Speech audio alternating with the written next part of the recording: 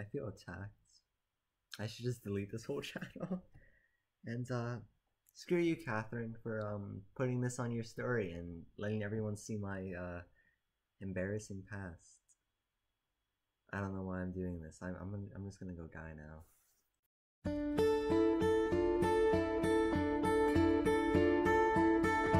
Hello, Douglas, my old friend. I've come to talk with you again.